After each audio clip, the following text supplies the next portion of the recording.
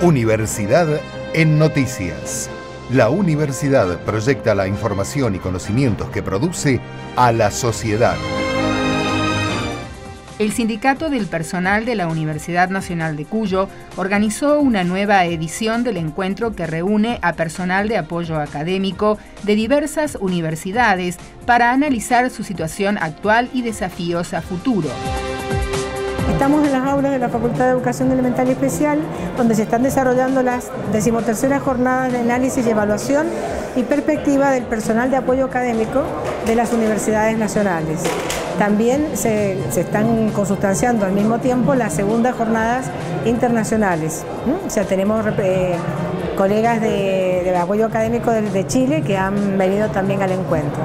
Esta ya es la tercera edición de estas jornadas en donde el personal de apoyo académico se reúne para debatir temas que tienen que ver con su perfeccionamiento, capacitación y posibilidades de progreso en el trabajo que desempeña.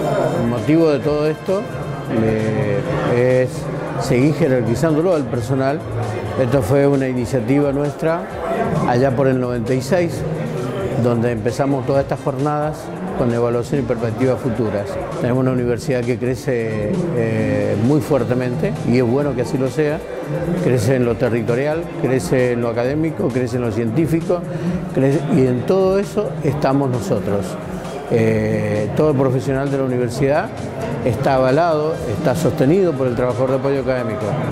Pero ¿cómo se sostiene un, trabajador a través de un profesional tan, tan importante como son nuestros profesionales en la universidad, estando capacitado y estando a la altura de las circunstancias?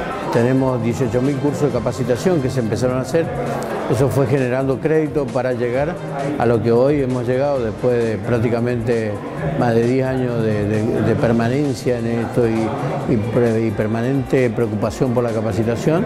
Yo creo que ha sido un logro importantísimo mantener este ritmo.